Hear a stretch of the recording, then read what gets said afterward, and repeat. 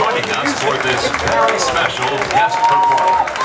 And enjoy the rest of your day here at Downtown Disney.